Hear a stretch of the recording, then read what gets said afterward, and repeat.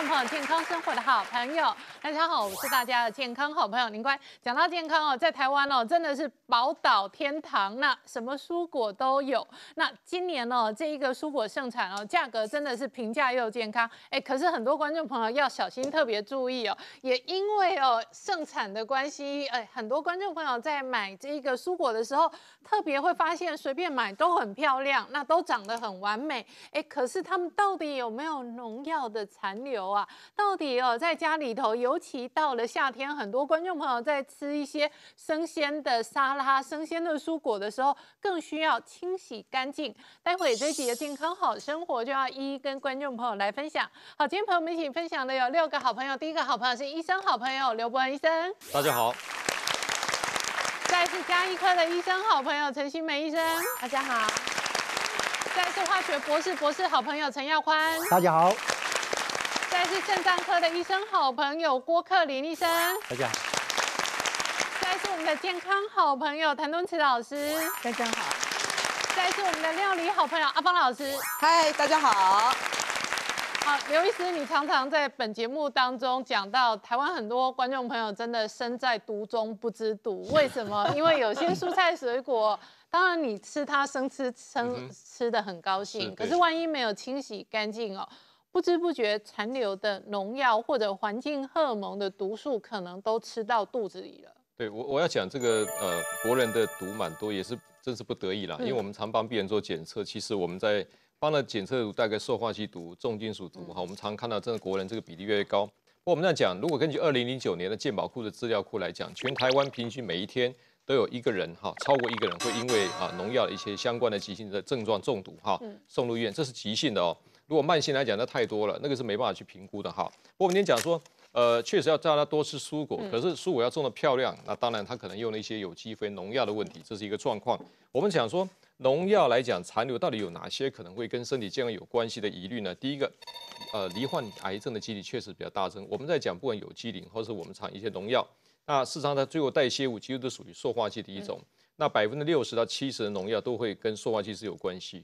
那在美国，他们有个很大型研究，针对一个农场哈，十四万的人这个做一个研究哈，大型农场研究，就他们统计这么多十四万的这些农夫，他们发现，呃，长期使用农药这一群的话，他们有几种癌症会特别容易增加。第一个血癌。第二胃癌，第三个子宫哈，子宫癌，子宫癌包括子宫内膜癌等等哈。事实上，你可以呃想得出来，因为这些环境荷尔蒙塑化剂经过身体的这个代谢之后呢，它的这些有机的一个啊这种毒物会影响到呃细胞染色体，所以造成我们细胞分裂的时候呢会出状况哈。第二来讲，当然它会在我们生殖器官跟我们的这个所谓排毒系统，它会累积哈。我们本来要排毒，像肝脏，你发累积的地方更糟糕。还有我们在有些这个有机的这些啊毒物来讲，它是对这个肾是有毒性的哈。所以造成我们肾功能、肝功能都受损伤。第三个，神经系统，其实国外有一个研究发现，哈，长期使用农药的人啊，他们发现他们有类似巴金森氏症症状，什么意思呢？就之前来讲，他们手会经常会颤抖，哈，他们在影响到从中枢神经，影响到我们在那个黑质，哈，影响多巴胺的这个分泌，造成类似巴金森氏的症状。当然还有另外研究是跟失智是有关系。所以一般我们在这个农药使用比较多的这国家来讲，地区要特别注意一下。另外来讲，我们讲不孕症这个啊特别比例高的，今天特别注意一下，百分之五十是男生的问题。男生问题就是跟我们的精子的活动力跟数目量有关。很不幸的，在塑化剂或者我们在农药这个比较污染的地方，他们做这个男生的这个精子的活动力发现确实降低非常多，数目跟活动力减少非常多。还有，如果假设你是怀孕当中，我们在孕妇当中吃了一些含有农药多的这些食物来讲，它会影响到胎儿。胎儿来讲的话，不光是容易早产。或者胎儿出生之后呢，容易贫血；另外，胎儿的骨髓容易受到抑制。哈，这是我们在比较 worry 担心的。哈，我们想讲说，这农药对我们身体到底这么多危害，那到底是我们要平常怎么注意？当然，这些很重要。不过，我我是讲一个，我才上个月才碰到一个案例。哈，那一对姐妹来，那姐姐是四十六岁，嗯，妹妹是四十四岁。哈，他们两个来是因为来调身体，是他们俩都是乳癌的患者。那么以前又得乳癌之后呢？那他们怀疑说是不是跟基因有关系？后来我们帮他验基因，没有关系哈，基因都没有问题。那后来我们在研究他的家族史哈，他们家住在中部，中部来讲的话，他们家是务农，务农他在跟我讲，他自己跟我聊天说，刘医师，刚起望天农药关系，我去安诺讲？他说我们做那个种果树哈，他说如果真的不用农药，他们卖不出那个水水果种不出来，嗯，所以他用大量的这个啊施肥哈，用一些啊包括农药。后来我就帮他们验他们血液中、尿液中的一个塑化剂，真的是非常高。我们一般验十四种的这些塑化剂代谢物，这两个姐妹同样的有七种的过高，嗯，而且包括双酚也都非常高。所以我跟他讲说，可能合理怀疑是跟你们使用大量的农药有关系。这是一个在果农他们在务农当中，所以我们现在大家讲，平常来讲就是说，你的蔬果里面确实，如果我们这个细节不注意到的话，常常吃到有农药污染的蔬果，确实有些。呃，风险啊。嗯，而且新梅医生，蔬果的清洗哦，本来就很重要哦。即便是有机的食材，也要清洗干净。对，其实，在后以以前啊，我其实也蛮崇尚所谓的有机食物的哈。但是后来深入了解，有机食物并不是说它就一定是百分之百好，重点是在你怎么料理它哈。呃，我们先讲一下哈，有机这个字它的目的是什么？它的意思原则上是说，我们不要用化学合成的肥料或者是农药。嗯。换言之，它会用的是一些比较天然的肥料或农药，像什么？我们一些呃动物的粪便，它可能就是一个肥料的来源哦。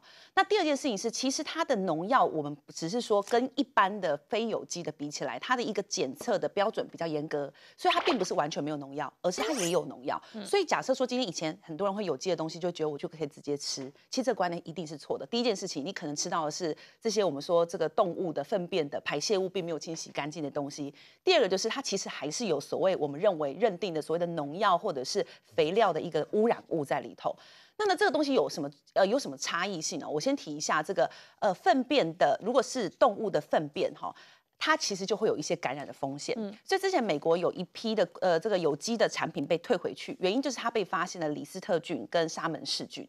沙门氏菌呢，呃，我相信大家之前有一次我有看到一个新闻，是小朋友吃到呃被呃没有煮熟的鸡蛋，结果就上吐下泻。可是它严重会多严重？现在就有个小朋友他是这样。他有一天就开始发烧，然后开始肚子就觉得肚胀，肚子胀气不舒服，然后开始呕吐，甚至他最后是有一点便便里头有出血。嗯，所以那时候妈妈把他带到这个诊所去，诊所的这个老医生一看就觉得这不对劲，马上跟他说：“你这个要去大医院哦。”妈妈想说就是一般的感冒上吐下泻的症状，他就拖了四天。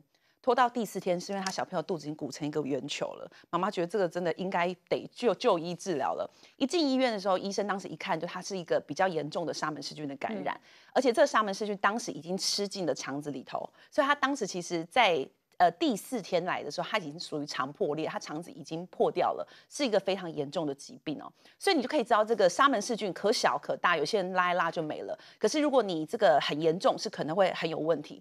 那过去我们都认为沙门氏菌是，比如说你呃这个鸡蛋你没有煮熟的鸡蛋，或者是一些乳制品里头会有。但是呢，第二个传染途径就是在我们的动物的粪便里头。嗯，所以你看哦，有机的产品，它为了要呃不要用化学东西，它就会用动物的粪便做肥料来源。换言之，你就有比较高的机会产生所谓的这个沙门氏菌或李斯特菌的感染。所以其实有机的东西你要观念正确，嗯，它只是天然的肥料，所以它还是有污染的风险。所以换言之，这些东西你得。彻底的清洗，或者是有一个好的料理方式，否则它其实只是呃一层把关，你第二层把关自己得自己做到。嗯，而且郭医师基本上台湾洗肾的这个比率非常高，除了跟饮食相关之外，农药也是造成我们肾脏疾病的其中一个这个危害之一嘛。啊，我先回答第一个问题哦，没有错，台湾的洗肾比例的确是全球之冠。嗯，不过因为台湾肾脏医学有公布说，哎，为什么我们洗肾病人会这么多？这样最重要两大原因，原因很多。第一个，老年人口的增加，哦，我们现在的医疗非常的进步，哦，让很多人就活了很久。那活得越久的话，其实全身的器官就跟着老化，此为其中一个原因。那第二个就是说，也是因为医疗的进步，很多糖尿病的病人在早期可能就死于一些其他并发症、感染症，然后又控制不良，得到心脏病。但因为现在医疗发达，这些活得比较久，所以糖尿病人也活也活。活了比较久，所以糖尿病的慢性的一些并发症就跟着跑出来，其实就是其中的一个部分。不过这是个很有趣的问题哦，农药有没有可能产生？哈，那台湾很难去抓这个样现象。但是我最近正好我们我们的医院正好有接受国合会的一个一个请托，我们有那个帮忙培训我们所谓的中美洲的一个友邦叫萨尔瓦多。大家知道萨尔瓦多其实现在还是一个很农业的农业国家。对对对对，那正好学员他就跟我们讲哦，说你们台湾的是这样的一个盛行率这么高，那萨尔瓦多反而不一样。他说很多是年轻人哈，农夫，哎，他好像就真的得肾脏病。嗯嗯。但是后来除了洗肾以外，最后还很容易很年轻就死亡。我就问他为什么，后来我去找了文献哦，文献上说他有推测几个原因哦。大家知道在中美洲其实那地方是非常的热，嗯，他们夏他们夏田工作其实比较容易有所谓的热伤害，可能会脱水。第二，他们可能用了某一类的像农某些农药，像一个药，我去查过，像孟山都一个药叫做年年春，它是一种除草剂。嗯，这些除草剂其实很特殊哦，它其实。撒到土壤当中之后呢，它其实会跟土壤中的重金属做一个结合。嗯，那如果说农夫有时候不小心哈，不可能是因为他可能吃到，或者是吸入，或者是说皮肤的接触，有可能就跑到我们体内，最后最后它会跑到我们的肾脏去。它很奇怪，它到时候它反而就分，它就它就分开了。嗯，所以这些重金属有可能产生我们肾脏、肾小管的一些病变。所以那边的人他们的肾脏病都比较像所谓的慢性。间质性的一个发炎哦，跟台湾是不太一样的哦，所以我们常常跟他讲说有没有这可能？我是觉得有这个风险，不过是很多风险并在一起，可能会产生这样的状况。那接下来谭老师就要出来分享哦。夏天其实很多观众朋友喜欢吃生菜沙拉，那也喜欢生食。那夏天其实哦，这个蔬菜叶菜也很多，可是清洗干净很重要。是好，那我们先看哦，据说这个农药残留经常名列前茅的小黄瓜，嗯，而且小黄瓜哦，大多数人真的生吃。尤其夏天吃的多，那就算没有生食哈，也没有很认真洗啊。呃，对不对？我会洗的很干净。那你会怎么洗？先示范一下，谭老师的小黄瓜都会怎么洗？对，其实呢，我大概就是说叶菜类所有的菜的话，就是一起都放到水盆里面。好，你会这样子放同一盆？对，为什么呢？因为台湾农药是复合型的，你其实不用单一洗，而且因为我们职业妇女很忙，全部丢一所以可以放一起哦。对，然后呢，呃，像这个的话，我就把它掰开来。叶菜你会先掰啊？就是如果是它是一整个的话，因为呃，这个我们种撒农药是这样，它种在这里这样撒，所以它这个地方残留永远是最高的。那我就会把它这个打开来，但是如果是那种菠菜，我就地头切掉，整把下来。整把。然后这个，因为这个青江菜几乎每次都有。那再来一颗花椰菜。那这个花椰菜的话，花椰菜要倒着放。我会这样子放。然后呢，因为花椰菜的话，你要第一次、第二次水蓄满之后，我先帅洗一下，然后把菜拿起来。我这个水呢不会浪费，我会拿去浇我家种的花，那比较不会长虫。好，那第一次洗怎么洗？第一次怎么洗？第一次、第二次水蓄满好，那第。三次我要蓄满是有一点点浸泡，是不是？没有，我就是把它刷晒洗一下，就是去那个泥土或者去一些杂质，或者有一些寄生虫啊什么的之类的脏东西啊都洗干净。第三次我是水蓄满之后的流动清水，其实一定要注意，不是多少注意棒了，是这么小的水。哎，所谓的镜头看特写，对，那流动清水是这样。流动清水比一岁 baby 的尿尿还小。对，因为呢，我们要的是时间，让它慢慢的溢流，尤其现在台湾枯水期，那我会怎么样？所以，所以流动清水是这样，这么小的水，这么小。我在这种枯水期，我在这里会再放一个水盆，让它溢流出来，就到那个水盆，可以加在那个马桶的水箱。哦，就是马桶还可以再用。因为这个是我们实验室哈，还有很多这个学者专家做过的实验。流动清水只要这么小的水，慢慢的溢流十二到十五分钟，其实有一小脸盆的水，这样的量就够喽。对，这么小的水叫做流动的清水。然后呢，像这个小黄瓜，我一定会刷它。为什么？而且我会喜欢用这个女孩子洗脸刷，因为这个很好刷，又不会刷 伤它，然后又可以洗得很干净。小黄瓜要这样子刷它。对，要刷它。其实我连小黄瓜都是熟食，我不生吃的，因为我很怕那个虫。好，可是夏天很多小菜凉拌菜真的都会生吃小黄瓜。但是我都是烫过，就整条去烫，烫完之后丢冰水。不会熟到那么熟，这样。对，没有，我只是烫烫掉它的好来，我们来示范一下苦瓜。那苦瓜的话，哈，要记得就是把它这样子一个一个的，也是化圆的方式把它刷干净。所以。只要凹凸不平的，你都要把它那个凹凸处。都刷干净，对对，那这样子的话才会洗得很干净。然后像我洗菜不会超过二十分钟，为什么？因为这些蔬菜都是水溶性的这些维生素，你虽然洗掉农药，维生素也会破坏。对对。所以呢，洗菜其实真的就十二到十五分钟。所以很多婆婆妈妈不要说拿一个水缸啊泡菜泡一两个小时，在那边泡心安的。真的，而且那样子营养素会流失。好，那这个谭老师示范完了之后，老师要示范一个健康又好吃的这个当令好料。理哦，老师刚刚分享了小黄瓜洗干净，今天小黄瓜切丁，凤梨切丁，这个是什么？竹笋，竹笋，嗯，这个是生的还是？这个是我有蒸过，蒸过了，蒸过的竹笋，因为这个季节绿竹笋、竹笋也都开始盛产了。对，切丁，那这个是倒吉豆薯。豆薯就是我们上次录影那一个好，对，大的很大一颗，哈，一样切丁，然后今天搭配虾子，对，好。老师今天分享的是一个恩水豆薯烩海鲜。对，这个米豆大概从啊播种到采收大概就两个月左右。一般在采收的时候，另外的豆叶在种，所以一直有农药进去。其实臭氧漆杀菌可以，它没办法分解农药。最有用的是方式哦，是小苏打，它可以跟那个农药产生皂化反应，就变成肥皂了。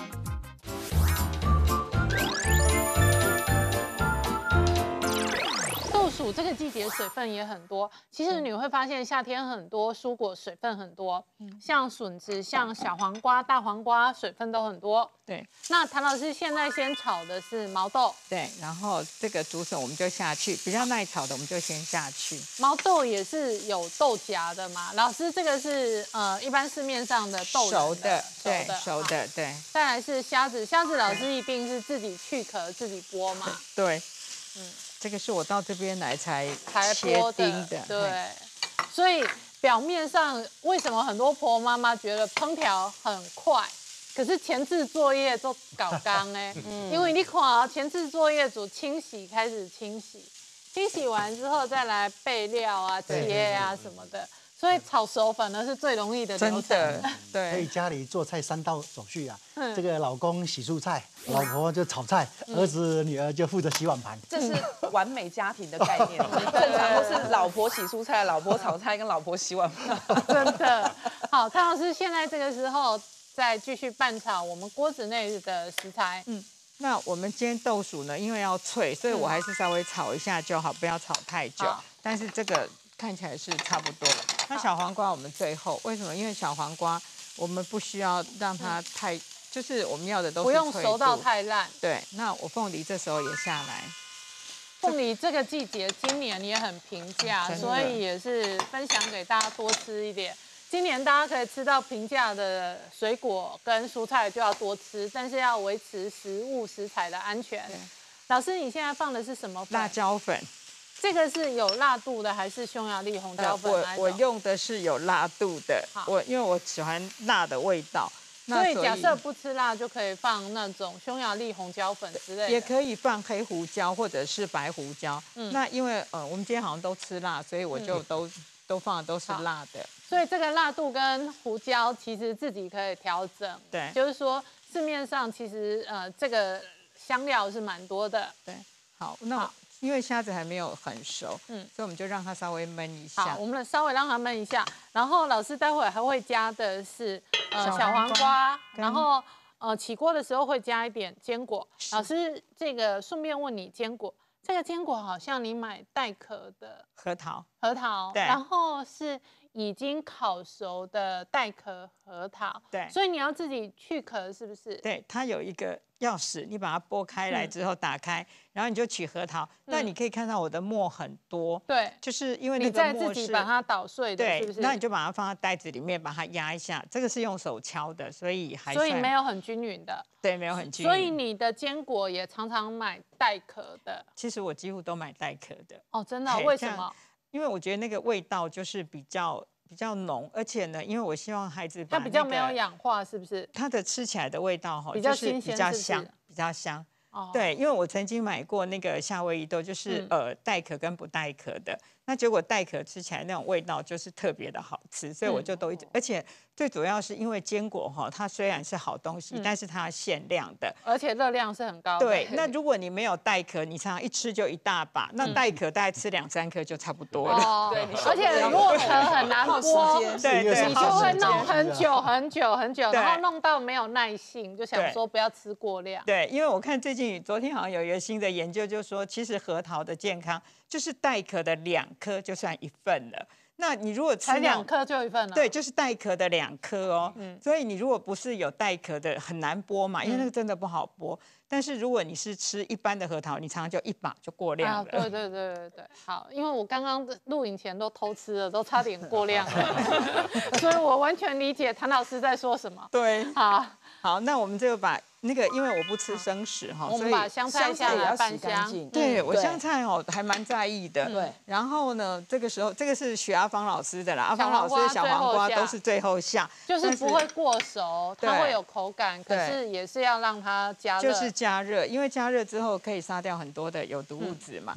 那我觉得这样是最安全的。那所以我们拌炒上来之后，再稍微撒上一点刚刚老师自己敲碎的这个对呃坚果就可以搭配了。对，然后我们只需要用一点点盐来调味。好，我们最后只要调一点点少量的盐巴。好，那我们就来上菜试吃哦。日本这唐老师特别特别放心，尤其看到这样洗成这个样子哈，都是全多来一盘，全世界最安全的时候就这个时候了。我跟他讲一句话，就是说农药残留，其实我们在国人哈，我们这个自己食药署在二零一零年曾经公布过这个 data。嗯，其实大家看一下哈，我们就说这么多蔬菜水果，到底农药残留到底呃排名比哈，你看第一名，我们讲菜豆类哈，扁豆、白豆了，粉豆、长豆，其实这个一般来跟它采收期有关系。一般的像比如我们举米豆来讲。其实他们也访问过果农啦，现在他们这个菜农就说，一个米豆大概从啊播种到采收大概就两个月左右。两个月左右来讲的话，而且是它一般在采收时候，另外的豆又在种，所以他们常常来说，哎，这边有虫，我再再铺农药；那边有虫，铺农药，所以一直有农药进去，平均两到三天都铺一次农药。那甚至农药来讲会到两到三种，甚至有一个果农，他们自己自己承认过，在某个呃杂志说他们会用十种农药。所以这个来讲，菜豆来讲是最低敏的。好，第二个来讲讲豌豆。豌豆我们讲像包括这个荷兰豆、甜豆哈，加这个或扁豆哈。那另外就是甜椒，那包括刚刚这个老师讲的这个小黄瓜，它这么临近的 C 波刚好，这个都很重要。莴苣啊，新疆的小白菜，那这些的菜呢，呃，农药残留来讲，到底对身体危害？我们刚刚提过这么多哈。其实我真的碰过一个，有一个小孩子是这样子，他是国小一个五岁的一个啊学生，妈妈带他来是因为啊，他去医院检查。因为他的这个生殖器发发展非常小哈，那医院帮他做过一些啊生长激素荷尔蒙都做过，说还不错呢哈，这样子哈。那本来说因为骨龄也不够，是不是说呃要不打生长激素？测了一堆东西，后来在小儿内分泌科的医师评估之下，认为不需要打这个所谓的生长激素，叫他回去多运动了哈。那妈妈带他来找，其实妈妈爸爸本身在夜市工作了，他每天从下午就要开到夜市去上班，所以这小孩来讲，就一天到晚就是在呃在安亲班。下课之后就自己吃自己的哈，所以几乎三餐都是在外面。那他来的时候，当然我们就想说，哎，这小孩我没帮他测的荷尔蒙，哎，其实荷尔蒙都没问题哈。可是这小孩有个问题，我们就看他这个测他那个呃尿液中的这个环境荷尔蒙塑化剂居然超高，而且我们帮他验肝功能，小朋友的肝功能啊，G G G B T，理论上小朋友应该都是很 OK 的，他也没有 B 肝 C 肝，这小朋友的 G P T 居然是五十五啊，其实五十五来讲对个小孩子是不 OK 的，好。那妈妈就很压抑，我说你那买零零酒，我爹啊给那买零酒，那当然他们外面买手啊备饮料就乱喝乱吃。后来呢，我们就跟他讲，你真的要是从头好帮他这个小孩子设计一下你的膳食，好，其实一这个学校的营养午餐你没办法去参与，但是晚餐一定要注意到。后来爸爸妈妈他们讨论过之后呢，就跟他讲说，爸爸你就是去夜市哈，你去，然后我在家每天就帮这个小孩子啊煮三餐，好，那包括把呃菜叶都洗得非常干净。才三个月时间，三个月我们还 re recheck 一下，它的肝功能指数 GPT 降到二十，嗯，非常快，而且它的尿液中我们测测不到任何的。环境荷尔蒙塑化剂，其实它外食来讲的风险就是，我们讲很多蔬菜，你可能就是，哎，看红边呐，嗯，假料其中可能里面农药在里面，它影响那个小朋友，你看连生长发育都受到影响哈，嗯，所以提醒大家还是要注意这方面资讯。嗯，那请教一下陈博士哦，还有一些婆婆妈妈喜欢用盐或者洗米水来洗蔬菜水果，OK 吗？很多妈妈讲说，哎，那奇怪，那我们来怎么清洗呢？是不是流动的水？那现在梅雨都没下了，没有水了嘛，流动的水十五分钟，还好谭老师有教那个细细的水就可以了。好，那很多种说，那我是不是可以用臭氧机呢？买一个机器来弄呢？其实臭氧机杀菌可以，它没办法分解农药，它没办法的。它可以杀菌没错，但是你，要要把农药洗掉是没办法，不可能的。好，而且你在厨房里面用臭氧机，那个如果臭氧机都没弄好，整个室内臭氧浓度过高，对身体是不好的。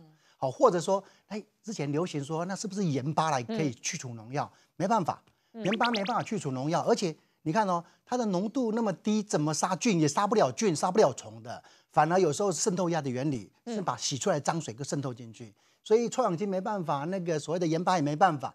之前网络流传说那是不是神水啊？嗯，洗米水啊，淘完米那个洗米水可以来这个洗蔬菜水果，可以那个去除农药，没办法，嗯，反而会有污二次污染。你知道吗？那个洗米水啊，它里面有虫卵，虽然我们真空包那个虫卵还没有孵化出来，但是洗米水它就有虫卵的。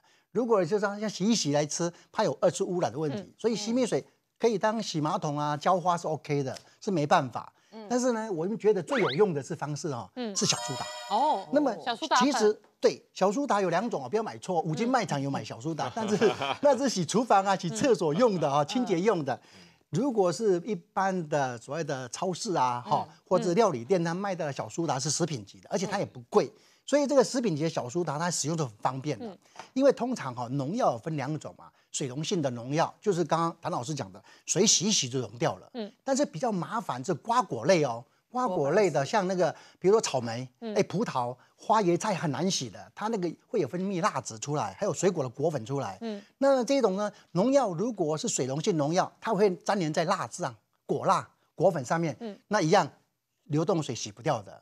那甚至呢？本身农药就是那个油溶性的，嗯，脂溶性的，它根本没办法洗掉，所以小苏打就好用，嗯，因为小苏打呢，它可以跟那个农药啊、油脂东西产生皂化反应，就变成肥皂了。好，那小苏打好像阿芳老师也常用，阿芳老师你都是用这个跟这个刷子来刷洗。对，小苏打粉哦，我要讲刚刚陈博士在讲食品级。您关这一包上面，你有看到就是食品添加物，其实是卫生署它都会有字号。嗯，你可以看到的是我们在使用小苏打粉的时候，你要懂得去区分，嗯就是买食品级的这个部分。那你小苏打是直接撒在，比方说假设是苦瓜，你是不是这样子的？是还是跟其实小苏打结合了浸泡？我的方法是结合谭老师跟。陈博士，就是我在家里面其实是有一个专门洗菜的盆子，然后呢，我就会把那个水第一次是清水，嗯，就快速的第一次是洗洗泥沙，然后呢，第二次的水。我就会在在里面加一小汤匙的这个小苏打，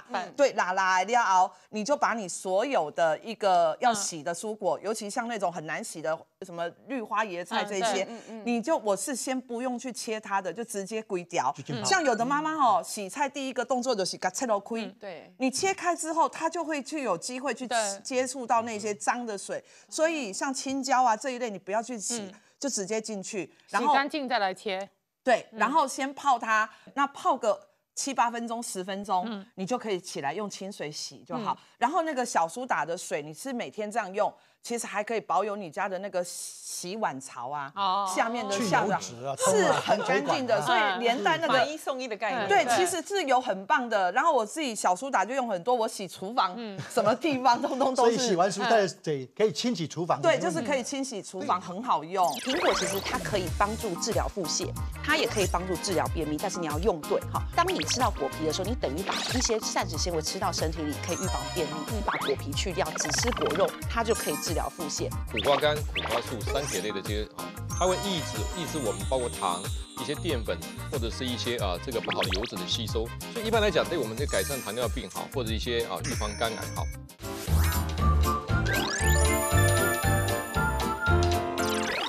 如果蔬菜真的没有洗啊，我有个朋友还有一个案例啊，他去那个买那高丽菜，他说高丽菜最安全了，不用喷农药啊，那高丽菜叶子拔一拔，里面最安全了。他的家他家里有池塘啊。养金鱼啊，养巴西乌龟啊，就把那个叶子啊，外面的比较丑的拔一拔丢下去，那鱼就死光光哎，连巴西乌龟就会死掉哎，真的，所以何况人如果日积月累的吃，可是新美医生问一下，夏天很多人吃生食，生菜沙拉，尤其是生的蔬果，真的也要特别小心。其实啊，我们说生食跟熟食的这个蔬菜各有各的好处啦哈，因为其实像我们一开始提到的生呃青菜里头很多的维生素它是属于水溶性的，所以当你生食你没有经过一些这个水煮的动作的时候，相对下这些水溶性的维生素比较可以保留在里头。但熟食不是说都完全没有好处。我们发现说有一些特别的营养素，例如像是贝塔胡萝卜素或是茄红素，其实它是经过油的料理，它更可以吸收。嗯，所以我们只能说这两种选择其实都可以。但是你会发现很多的，尤其是越钻研这些跟农药有关的哈，这个越养生的医生，或是这个相关的这个健康的老师哦，你就会发现生菜他们几乎都不碰的。嗯，好，为什么？像谭老师就是小黄瓜 还是要过热一下。刚刚谭老师。师讲了大概有两次，我都很认真听，他就说我是不吃生菜的，他就说他是不吃生食的。那特别提一下，就算你吃生食哈，如果你在这个餐厅的生食，也一定要务必小心，因为其实我相信大家都有经验，你去看我刚刚我们还在聊嘛，我之前去吃一个去吃某个小笼包的时候，那个后面就有个阿姨坐在地上，水呢那个碗盆这么厚，它里头只放了薄薄的水，她就把这个高丽菜切一切之后就直接放进去准备煮了。换言之，就是基本上是可能连水都还没有经过，它就已经进去了，就是一种没有洗过的生菜。那这个到底有多恐怖啊？之前就有一个男生是六十几岁，因为他是常年都是吃素的人。有一天呢，他在运动，运动的时候突然运动晕到一半，突然就昏倒了。当时一开始想说会不会是心脏的问题，所以就一系列的检查，从心脏科最后转去神经内科。原因是为什么？因为他的神经反射好像有点问题。后来神经内科医生帮他做了一个脑脊髓液的抽血检查，竟然在脑脊髓液里头培养出广东注血线虫啊！这个东西我们已经在做学生时期念那个寄生虫，我们才会有印象。过名字。对，那这个东西它会，它其实是个人畜共通。如果我们以这个呃，就是运动物来讲的话，什么动物会有？老鼠会有，瓜牛会有。所以呢，后来呢，这个医生就问他，请问你吃东西有什么特别习惯？他就是喜欢吃生菜，所以怀疑就是从生菜刚好瓜牛爬过，而瓜牛带着这个广东注血线虫，所以就间接的感染。好，所以我一定要务必跟大家讲一下哦，生菜，哎，当然了，如果你很讲究健康的话，可能你要么就是清洗的很彻底，要么就是还是烫过。可是如果你在餐厅的话，一定要观察它的洗的状态哦，不然你这个健康可能会赔上。嗯，那接下来阿芳老师要分享一个健康又好吃的凤梨苦瓜鸡。对，呃，刚刚宁官有拿到 这个，这是我家在洗。先用来，先用来刷子，嗯。这是凤梨专用吗？对，一样都不去动它整颗的时候，那个哎扛进卤哎，或者是嗯 这样子去刷洗。每个人自己家里面马上找法宝，牙刷其实也很好用，所以在家里面自己可以找到方法应对，然后都洗干净，水再冲干净，你再来切开它，这是妈妈要养成的一个习惯。好，那所以我今天呢。呃，用了苦瓜，苦瓜也是疙瘩很多的蔬菜，对。那所以我的习惯的洗龟雕，直接泡，就是先洗过一次，然后泡小苏打粉，很重要，就是泡完之后再来清洗，然后洗完切开，基本上其实这样子的苦瓜很好吃。就是如果你有敢吃的人，你去咬一口，你就发现有洗干净的蔬菜，很甜，很好吃。好，来刘医师要证明很好吃。刚刚我们在，你知道吗？就是它其实是会很甜的，就是完全洗干净。你真正照的不是有苦要说出来，它是一定苦，可是它会水分很饱满。很 juicy，因为它的苦瓜干其实对健康是非常 OK，但我相信很多人吃不了苦了。对，那没关系，我们今天就把它煮。那我今天现场一个就是第一次，我把它煮，现在当令，尤其今年凤梨真的很很盛产，所以我们煮凤梨苦瓜鸡，然后我把鸡肉穿烫洗干净，跟。这个苦瓜一直加水，直接煮上来，煮到滚。那这个时候我在里面呢，因为苦瓜会凉，所以我放了一点点这个嫩姜的姜片。对，然后凤梨就是把它洗干净。嗯，这个凤梨酱是我自己腌的哈，就是凤梨切一切，然后盐巴拌一拌。嗯，呃，不用太咸。然后我是桃甲包，什么桃甲包？家里面你有那个黄豆瓣酱，嗯，有豆腐乳。你就直接改掉掉哎，嗯，然后拌好就装瓶放冰箱，好，下次来分享这个酱，它就会很香。好，下次来分享这个桃甲包酱，就是家里头的黄豆酱或者是豆腐乳的酱。对，就是那个吃豆腐乳用剩，你可以拿两块啊，然后带底下那个汁，就把它放进来，然后这样子就可以来煮。自己腌成凤梨凤梨酱酱。对，好，然后呢，你可以把一点汤汁放进来。好，好，然后。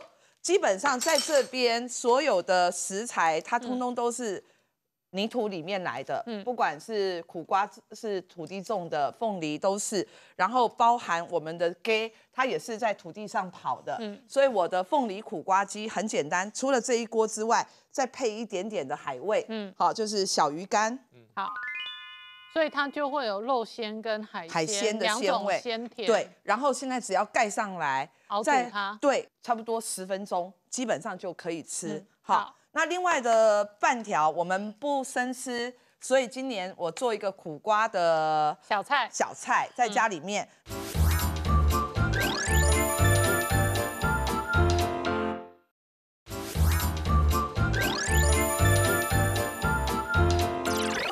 把苦瓜一样洗干净之后，我们用蒸的比较方哎，我。先问一下，洗干净之后这一层膜要去掉吗？因为这一层膜最苦哎。可是如果你煮的是好吃的，嗯事实上这一块膜它其实是不会苦的。哦，好，每个人对，好好，然后我们要在这里面，我拌一点点的香油跟酱油膏，把它先拌匀，然后把它让它吸了这一些调味料之后呢，我们就把它倒到盘器上面。你在煮饭的时候，妈妈可以把它放在电锅。或者那个饭架在上面一起蒸，嗯，或者是你可以就是呃另外拿一个蒸锅来蒸都可以，好然后只要从冷水开始蒸，蒸到它水沸腾了，所以只要拌酱油跟香油，对然后就蒸苦瓜，对，，就蒸苦瓜，这样子就可以把它蒸熟。那这个时候基本上蒸熟就有一点点像酱苦瓜了，对不对？对它就是有味道。的苦瓜了。嗯然后我们就在这个时候，你可以把家里面你有的冰箱的海味酱，嗯呃，比如说你有 S O 酱，你有小鱼干酱，那嗯你就可以把它拿一点出来，然后捞干了就好，哦油不用再下来哈。有海味的酱来对，好嗯，调味然后再加一点点的我们的硬皮呀，哈，哦，再来姜末，把它们全部通通都给搅拌。搅拌均匀，然后就放到保鲜盒。哎，这样子热着可以吃吗？还是要更热晚是一道菜啊可是事实上这个时候它还没有把这些海味香辣的油脂给吃进去，所以我通常就会这样拌一拌，然后把它倒到哪里？倒到保鲜盒。嗯嗯，然后其实是吃凉的。那现在多热热的吃，你会觉得它有苦味，嗯，冷冷的吃苦味就不见了。好，那放凉的话多久入味？呃，很快它回到温凉的时候，它的那哦个脆皮就不见了。嗯嗯，所以今天要挑战你吃苦瓜，好 因为你来关是不喜欢吃苦瓜对，瓜。我是不爱苦瓜的小孩。哎，真的没苦味了。对，就是热的时候你会觉得啊，一起擦抠龟，嗯，可是事实上冷了之后，它的味道，哦，这样他受欢迎很多哦。谢谢欧露。领官接受。所以敢吃苦瓜不敢吃苦瓜，妈妈其实可以多变化，这跟孩子他其实在味蕾的感受是年龄也有关系的。可是妈妈做的好，其实可以让她在夏天的时候吃到这么好的瓜果。所以这在家里面，妈妈是一瓜可以两用。嗯，好，那我们待会哦，再等一下那个凤梨苦瓜鸡的同时，请教一下郭医师。郭医师，听说你遇过直接吃农药的病人哦？哦，应该是这么说，偶尔会遇到，因为我是肾脏科医师是。想要轻生吗？嗯，对啦，应该说我们讲务实好了，就有两大类嘛哈。是的确有些跟他吵个架，想说好吧，我就喝个那个。那以前我真的遇过这样的病人，我印象最深的是我当 intern，我实习的时候哈，那那个医院其实很大嘛哈，那就是有所谓的毒物，可能那个医院我正好在肾脏科，嗯。就有个病人他就喝了那个巴拉瓜。我讲那个谭老师一定很知道哦，这个以前他喝农药想要轻生，对，那来的时候看到他，我是在急诊室看到他，为什么？那个急诊已经会诊过肾脏科了、哦，急诊有帮他洗胃了哦，那赶快就送肾脏干嘛？要有点像帮他洗肾，可那不叫洗肾，我们叫 hemoperfusion，我们叫血流灌注法。哦，那跟洗肾有点像，只是它的人工肾脏很特殊，我就应该带过来才对。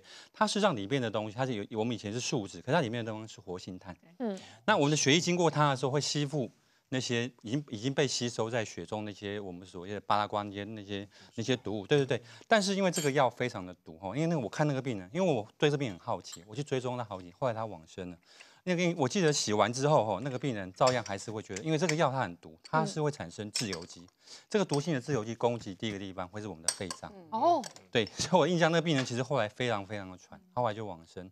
那我知道，因为这个药所以其实他已经洗血洗掉一部分的毒性了，对可可是它是产生的自由基攻击了他的肺，没错，那最后肺也产生了一些急性的变化，急性的变化。那当然有些可能长庚医院可能经验就比较多，因为我知道后来林吉阳老师有专注这样的研究，甚至会让病人用一些所谓的脉冲性的类固醇。嗯不过就算可以撑得过第一个时候，后来他的肺应该也是有受损，他一部分会纤维化。哦，所以有一些农药是真的很毒的，对对不要轻易吞农药的。那后来我的经验，其实那些病人大部分存活的人非常非常多。对哦，真的一口就会死掉的。没错没错，我想我想谭老师经验应该一。口就会死掉，可是有些在轻生的人一灌是灌一灌。其实有一些是意气用事，我们真的在急诊室，我们遇过那种男生小女生男生吵架，他就想说我就喝给你看，他只喝了一点点就不敢喝。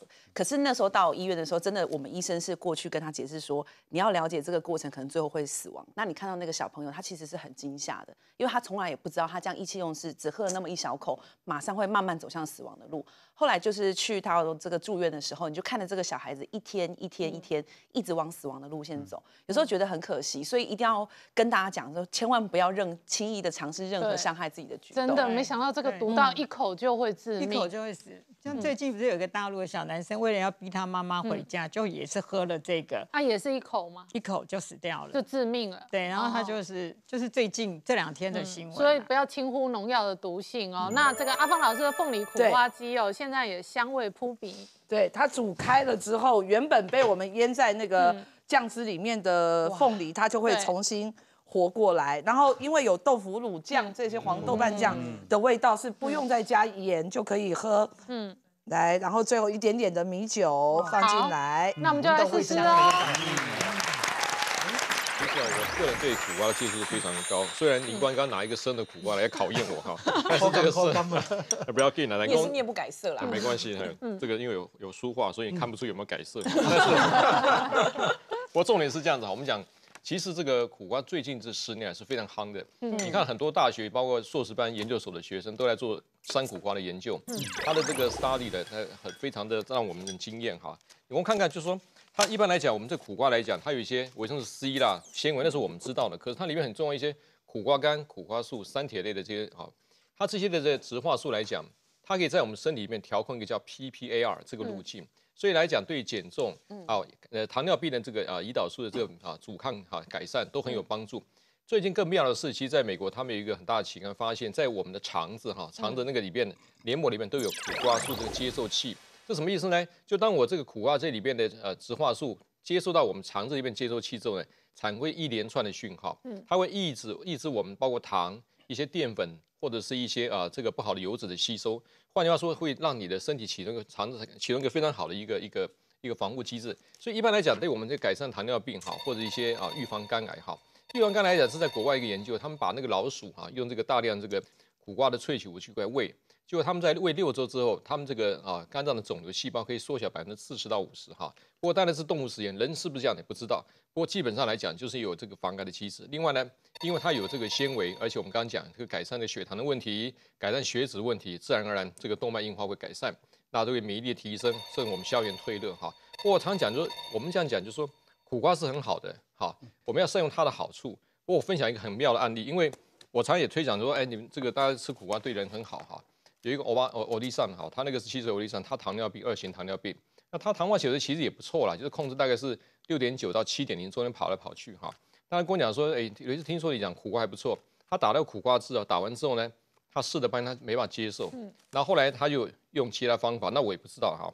他每天喝苦瓜汁，三个月之后来，那个血糖啊也没有改善，而且呢，他的糖化血就是 A1C 哈到七点二七点三。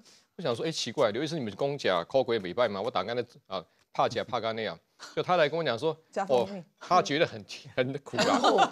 阿老师对，他加蜂蜜，还有那个凤梨啊，切好几片加进去，然后他嫌不够，还要加葡萄，所以整个加的糖非常高。你本来想用这个苦瓜的这个好处去抑制我们血糖上升，结果为了呢，把把这苦又盖掉，用加更多的糖来压着苦，完全适得其反。哈。所以我常讲说，我们食物有它的好处，你不要说为了这个啊硬要吃它。用另外不是很好东西盖掉它，那就错误了。不过这个新美医师也要提醒分享，实际上蔬果它的果皮就是有各式各样的植化素。对，那有的时候呢，你去皮呢就把营养素去掉了。那如果你要吃它的营养素，你就要确保把它清洗干净。对，其实大自然蛮神奇的哈。我们发现说很多的这个水果，我们在吃的时候，我先举一个这个香蕉，很多吃香蕉在睡前吃一根，为什么？因为它可以帮助睡眠，里头有这个含有色氨酸的成分，但是却发现其实皮的色氨酸更多。嗯，所以有些人甚至会鼓励说，你其实把这个外层最外层的皮削掉，留薄薄一层皮来吃。嗯，那呢你就会发现很神奇哦，这个大自然里头果肉虽然是有营养，可是有时候果皮的营养。哎，有些是不一样哈，有些是效果不同，有些是营养更多。我在讲第二个，这个大家最近也很常看到的一个水果，这是我病人的亲身案例。我一个病人，他其实是一个长久便秘的人，嗯，那他便秘的原因，其实我们大家都很知道。第一个，他完全不吃蔬菜，好，他只靠药物，然后他又很容易紧张。那我就每一次来都开药，我也觉得很没有成就感。我就跟他说：“你真的要吃一点蔬菜水果。”讲了半天，他终于接受吃水果。他吃的水果就是苹果。到第二次来更愁眉苦脸，他说：“惨了，我就跟着你说吃苹果，可是我便秘的更严重。”好，一细问之下，原来他就是吃那个正常嘛，我们就是把那个苹果的皮削一削之后，就直接吃苹果。那其实我就跟他说，其实这个哎，你算做错了啦。为什么？苹果其实它可以帮助治疗腹泻，它也可以帮助治疗便秘，但是你要用对哈。我跟他说，你先这一次回去，你先不要问我这么多，你回去就是把那个果皮洗干净，把跟着苹果的皮一起吃。他说也奇怪，他就说他就这样试了一个礼拜左右，他就说他真的每一次吃完苹果之后，他就感觉到肠胃道咕噜咕噜的，好有加喝水，他就咕噜咕噜的感觉，哎，接下来唱。便便就变得比较顺了。那原因是为什么？在苹果的果皮里头的膳食纤维比果肉来的更高，甚至是两倍的膳食纤维。所以当你吃到果皮的时候，你等于把一些膳食纤维吃到身体里，可以预防便秘。嗯。但相反的哦，如果我是个腹泻的人，果肉里头有果胶，果胶会吸水。嗯。所以如果你是个长期腹泻的人，你就把果皮去掉，只吃果肉，它就可以治疗腹泻。嗯。那节目最后，刘医师也给观众朋友一个健康小叮咛。对，我们今天讲这个农药的防治，其实我们还不要抹杀蔬果的那个。好处了，它纤维以及脂肪素很重要。那当然，我们今天跟几个专家学习怎么去清洗蔬果非常重要。但不要忘记了，我们有些农药来讲，真的进来身体要多喝水，促进排尿，不要熬夜，少喝酒，这样子跟身体的解毒系统也会自然而然就比较好。好，谢谢刘医师的叮咛，也谢谢我们这么多好朋友的分享。我们今天分享的健康好料理的食谱跟做法，也都会铺在年代嘛曲台健康好生活的脸书上面，提供给观众朋友分享跟下载。同时间，我们的食谱健康的资讯，还有节目的预告，也会放在赖的官方账号的主页。欢迎观众朋友扫描 QR code 加入我们的赖账号。那健康好生活，我们下次同时间准时再见，拜拜，谢谢。